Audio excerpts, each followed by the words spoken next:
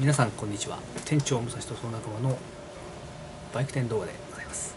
いつもご視聴ありがとうございます。今回は PCX、えー、現行型はですねスマートキーというのを採用しております。はい、えー、ですので、まあ、こういったね鍵はい。でこれをポケットにこう入れてね、まあ、車でももうね、えー、かなり前からあるかと思うんですがそうするとですねキー操作は基本的にここにあるボタンと触るだけで、えー、できるということで離れればね全然もうスイッチが動かなくなっちゃいますのでエンジンかけられなかったりとかロック解除できなかったりとか、えー、そういった仕組みになっております。はいえー、でこれちょっとですね、あのー、簡単にね説明をさせていただきたい。はい、ちょっとあの、まあ、言葉で説明するのもいいんですけど、まあ、動画でねこうこうでこれでっていうね。はい、でインドネシア仕様の PCX はこの鍵がねボタンが3つあります。はい。これなんかスーパーカップのあの C125 も3つあるようでございますが、はい。えー、ですので、1個、これですね、この鍵マークですかね。これが多いんですかね。それとも、あ、これですか。アラームのマークが多いんですかね。はい。そうですよね。はい。で、まあ、あのー、詳しくはですね、一応説明書こういう、ついてます。で、これ各国の言葉で書いてあるので、日本語でもここにあります。はい。ですので、まあ、これ読んでいただければ一番間違いないのかなとは思うんですけど、はい。で、まずですね、乗車時の操作方法、まあ、ここがね、重要でございますが、ホンダスマートキーのオンオフ表示灯が緑色緑色であることを確認してくださいとあります。はい。えー、これですね、ちょっとね、見ていただきたいんですけど、これ、で、ここの鍵のボタンを押すとね、今、緑色つきましたよね。はい。これ、これで、これじゃないと使えません。えー、ちなみにこれ長押しします。赤に切り替わりますね。で、押すと赤ですよね。赤だと使えません。はい。なので、これポケットとかに入れといて、なんか間違ってね、どっかでこう触って長押しとかされてて、これが赤に変わっちゃってると、いざ近寄ってこうやってもね、あれ？あれ？動かないってことになりますので、そういう時はまず、まずこれをね、えー、スイッチが、ここが、こう赤じゃなくて、長押ししてですね、この緑、ね、緑であることを確認してください。はい。さあ、えー、続いてですね、スマートキーを携帯して車両のメインスイッチノブを押してくださいとあります。これですね。これ。これを押します。そうすると、青いマークがね、入りますよね。はい。メインスイッチノブが操作可能になりますと。そしてメインスイッチノブをシートフューエルの位置にし、シートオープナースイッチのシートを押すことでシートを開けることができます。またフューエルを押すことでフューエルリッドを開けることができますと書かれております。ですので、えー、で、押します。で、青くなります動かせますので、今オフの位置。えー、ハンドルロックの位置ですね。はい。で、まあ、ここでシートの位置に、え切り替えます。ね、シート、フューエルって位置がありますので、そこに、えー、合わせます。ね、こういう、ここですね。シート、フューエル。そうすると、えー、シートとフューエル使えますので、えー、ま、まあ、燃料入れるときは、こう押してある。そうすると、開きます。はい。で、えー、後ろはですね、ちょっと待ってくださいね。ちょっと、ね、余計なものが置いてあるので、失礼して。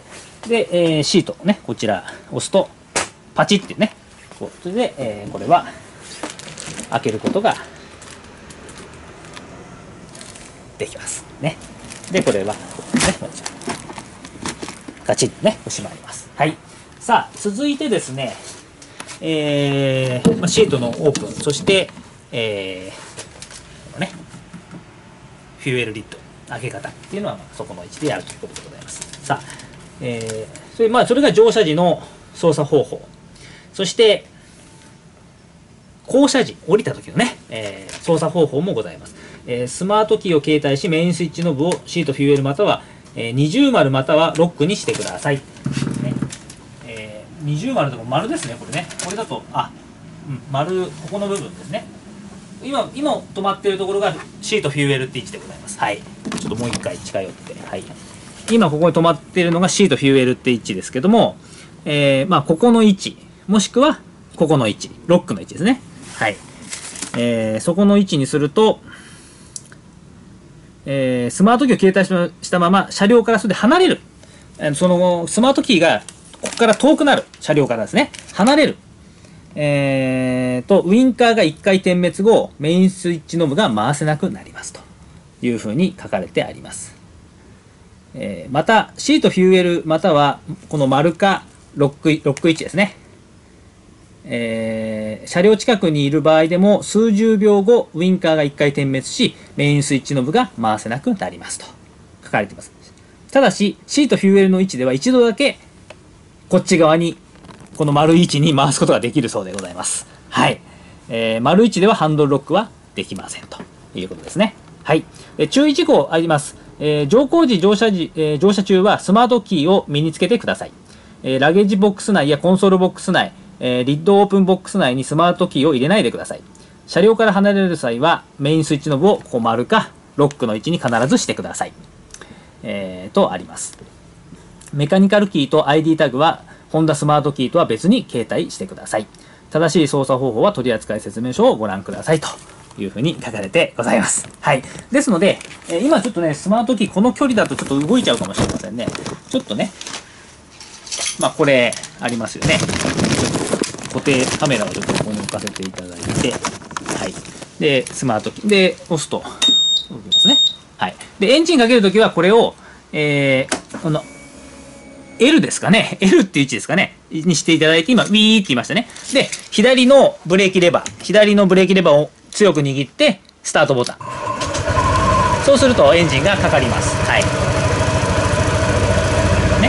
かりますね。で、エンジンは、切るときはこれをまあ C とフューエルもしくはここかここかロックかありますけど、えー、返しますでまあちょっとエンジンをね切りますそして、えー、ハンドルロックの位置にしましょうかねハンドルロックの位置にしましたでこのキーはちょっと離れたところに、えー、持って車体から離れましたとそうするとこういう感じで今ピーッと落としましたねはいなりましたなのでこの状態だともう鍵は回せなくなります近くにあのスマートキーがないと。はい。ね、回せないです。はい。さあ、まあ、これが基本的な、えー、操作方法でございますが、あのー、ボタンがですね、こう3つあって、で、一番こう真ん中に警報のやつがあるんですね。これ確か押すと、ピッ、これ多分入ったと思うんですよ。もう一回なりましたね。これで、あのー、セキュリティが入ってると思うんですよね。で、この状態で、えー、車体をこう誰かね、盗もうとかいう時に動かすと、こういう感じでアラームが鳴る仕組みとなっております。はい。えー、で、これ、解除するときは、これを押せば解除されるわけですね。まあ、離れて、例えば離れたときにね。これで今入ってる。で、もう一回。これで解除ですかね。はい。この状態だったら動かしても多分ならないですね。ならない、ならない。はい。えー、それがついてますので、まあ、もし、ちょっとね、長時間車両から離れるとか、えー、まあ、自宅とかでもね、ガレージ、えー、もしくは駐輪場みたいなとこ置いとくときは、こう、入れとくと、もしもの時に教えてくれるという仕組みですよね。ただ、あの、なんかこれ花火とかでドーンとかいう音でもなるかもしれない。振動で。はい。ちょっと何とも言えないですけど、はい。そして、えー、これですね一番上のやつこれを押すとですねあの車体のある場所を教えてくれるかと思います。はい。違いましたっけねこれね。アンサーバックだったと思うんで。は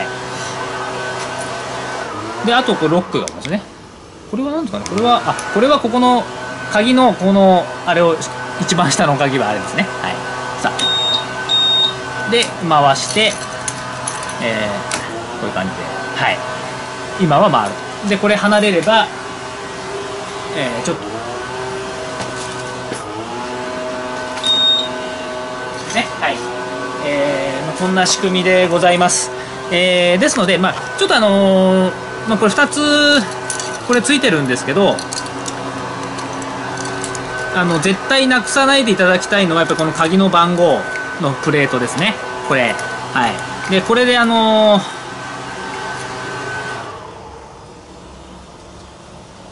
もしもの時にはねちょっとこうやる、はい、あとこの鍵はエマージェンシーの鍵なんですけど、えー、まあ、使い方はですね取扱説明書を見ていただくと。私がこここここをこう開けてですねこれでこうやって回しますっていうのはあんまりセキュリティ上は良くないのかなって感じがいたします。はい。まあ分かってる方みんなねあのでもネットとかに載ってるかもしれないですけど、はい。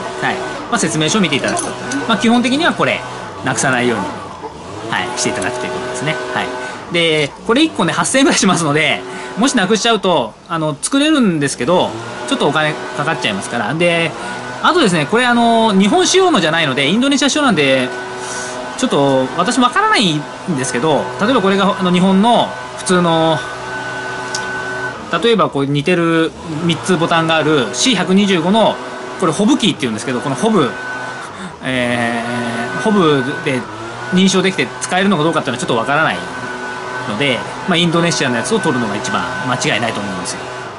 ただやっぱり金額が結構しますからどちらにしても。でちょっと前にホルタの125あれ一つなぜか1つしかついてないんですよ。えー、なのでねちょっとねただもう輸入元もね初めから1つしかなりませんっていうことなのでどうするねあれなんですけど。ただその吹雪もだから日本のやつがそのまま使えるで認証できて使えるのか、えー、それともやっぱり取り寄せてねあのあの車体のパーツカタログに載ってるものを取り寄せなきゃやっぱりできないのがちょっとわからないんですが、えー、っとそれはねユーロユーロで41ユーロぐらいしましたから1個。日本円にすると5000円ぐらいしますよね。ただももちろん送ったりなんだりっていうんでその分のお金はかかっちゃうで日本仕の場合は大体8000円ぐらいだったと思いますパーツカタログ見ると。はい。これぐらいそれがしますから、はい、なくさないようにしていただくっていうそれしかないですよね。はい。まああの幸いこういうあまあ中にねもう体にはずは離れないようにつけとく。基本的には出さないでいいいいわけですから、まあ、そういうふうにしていただければいいのかなと、えー、思います。で、えー、まあ最初にもあのちょっとね一番最初に説明させていただきましたけどこれを押してですねこれがちゃんと緑になっているかどうか。これを確認していただいて、はい、もしこれ押しても反応しないっていう場合は鍵持ってるのに反応しないっていう場合はちょっと鍵をね一回出していただいて、えー、これを確認していただく。赤になってないか。で赤になって緑なのに反応しないっていう場合はなんか問題かなり問題が出てるんじゃないかと思いますから、まあ、そういうことは多分ないとは思うんですけどね、はい。えー、その辺りをちょっとね注意していただけると幸いでございます、はい。えー、で、えー、ハイブリッドのね裏がね。青いんですよね、はい、ハイブリッドだしはい。えー、そんな感じでちょっとね、あのー、簡単ではございますが、えー、PCX ハイブリッド、ね、インドネシア仕様の品のね簡単な説明をさせていただきました、はい、気をつけてねお乗りいただければ幸いでございます。じゃあ今日持っていきますので、ね、よろしくお願いいたします。失礼します。